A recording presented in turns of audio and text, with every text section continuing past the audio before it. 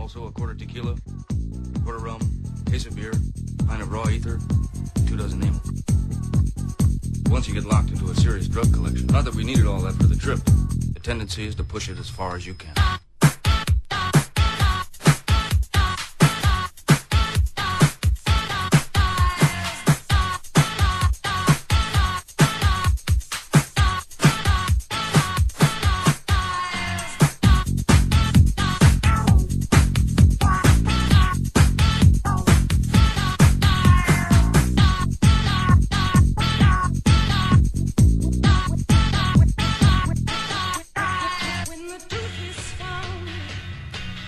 To be